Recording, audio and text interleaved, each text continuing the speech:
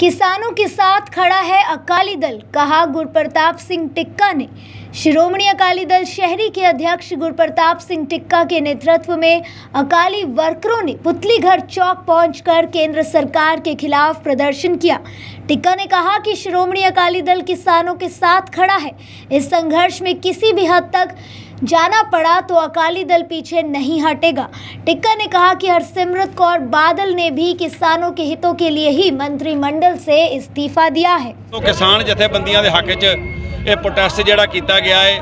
ਇਹ ਹਿੰਦੁਸਤਾਨ ਦੇ ਵਿੱਚ ਅੱਜ ਕਿਸਾਨਾਂ ਦੇ ਹੱਕ 'ਚ ਬੰਦ ਹੋ ਰਿਹਾ ਹੈ ਮੈਂ ਇਹ ਦੱਸਣਾ ਚਾਹੁੰਦਾ ਵੀ ਪੰਜਾਬ ਦੀ ਕਿਸਾਨੀ ਨਾਲ ਸ਼੍ਰੋਮਣੀ ਅਕਾਲੀ ਦਲ ਡਟ ਕੇ ਖਲੋਤਾ ਹੈ